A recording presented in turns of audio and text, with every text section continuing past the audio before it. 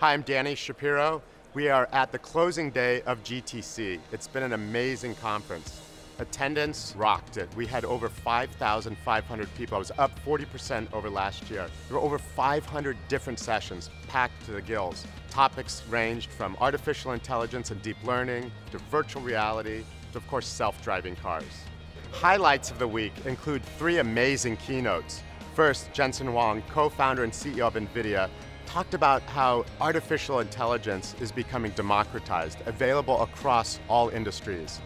The day two keynote featured Rob High, the CTO of IBM Watson.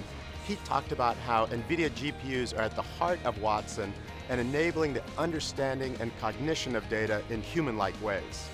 And finally, our day three keynote featured Gil Pratt, the CEO of Toyota Research Institute. He talked about how NVIDIA and Toyota are partnering to develop technologies for self-driving cars, in particular using simulation technology. Toyota is focused its number one goal on safety and using technology to deliver a safer product. In the expo, there are over 100 different exhibitors showcasing the innovative ways GPUs are being used.